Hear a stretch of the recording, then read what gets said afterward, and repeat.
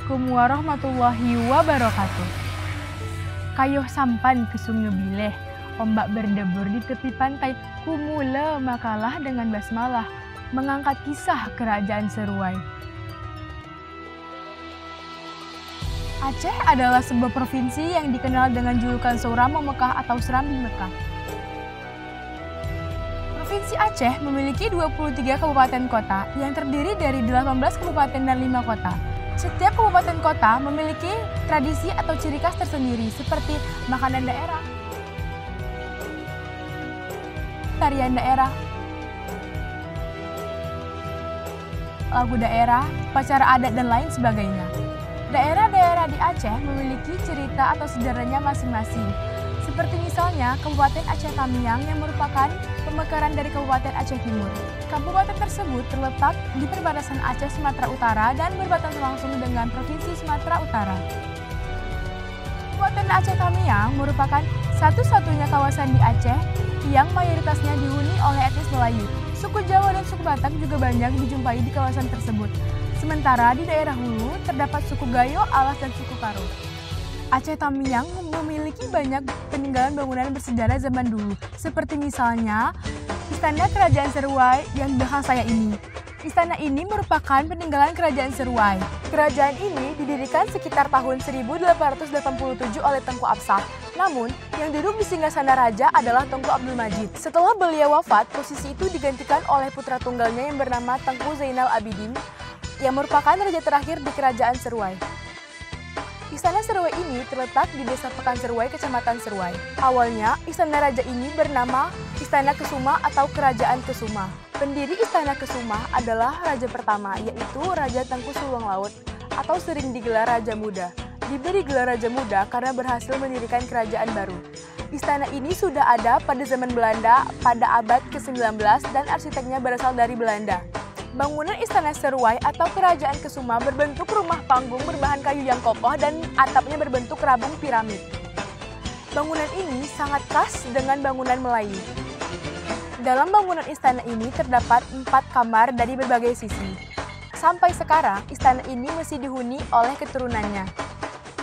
Dulunya, di istana ini banyak sekali peninggalan dokumen penting dan barang bernilai sejarah lainnya. Namun, pada masa Darut Islam di Aceh, Sejumlah barang bernilai tersebut pun hilang.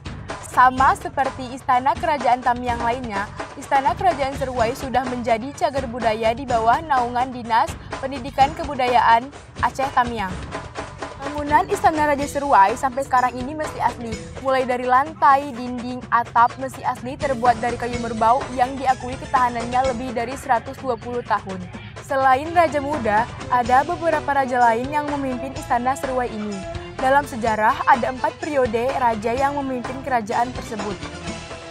Yang pertama, Raja Tengku Sulung Laut dari tahun 1865 hingga 1902. Yang kedua, Raja Tengku Hitam Abdul Majid dari tahun 1902 hingga 1917.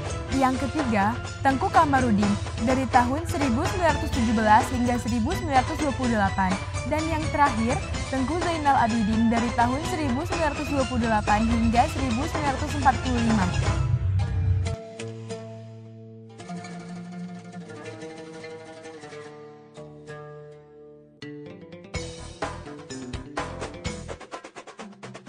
Perkenalkan, nama saya Salwa dari SMA Negeri Bangsa Arun.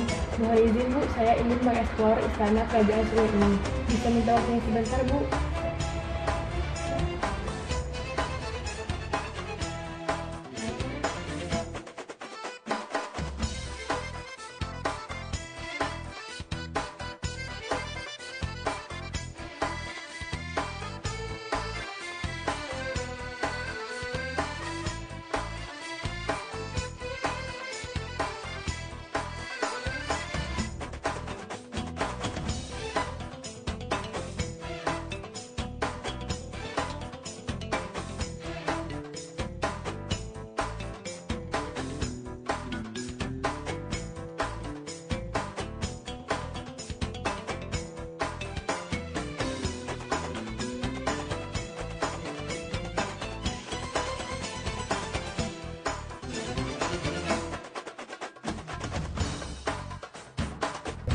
Demikianlah penjelasan singkat tentang salah satu kerajaan yang ada di bumi Buddha sedia.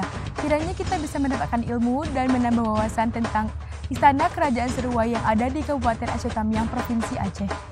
Aceh Tamiang terkenal dengan pantun Melayunya. Diawali dengan pantun, maka saya akhiri dengan pantun pula. Kalau ombak berdebur di tepi pantai, tempat bermain ikan gulama, kuangkat kisah kerajaan Seruai, semoga menjadi generasi yang berbudaya.